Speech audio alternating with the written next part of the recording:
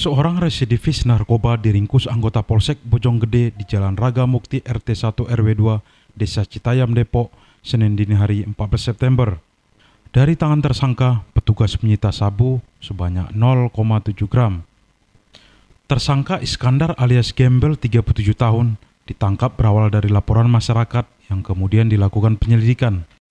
Kemudian dari anggota dari sini eh, menghubungin dia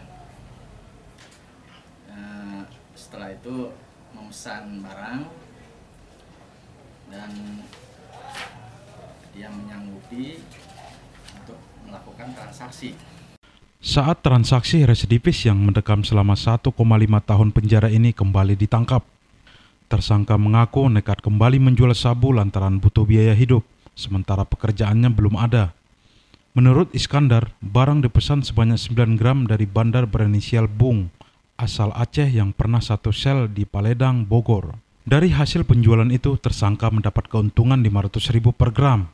Kapolsek Bojonggede, Kompol Maskur mengatakan, barang bukti sabu sebanyak 0,7 gram dikemas dalam kantong plastik bening. Setiap transaksi, tersangka selalu mengirim lewat SMS dari temannya yang dikenal. Akibat perbuatannya, tersangka dikenakan Undang-Undang RE Nomor 35 Tahun 2009 tentang narkotika dengan ancaman hukuman selama 15 tahun penjara. Dari Depok, Angga Pahlevi, Poskota TV melaporkan.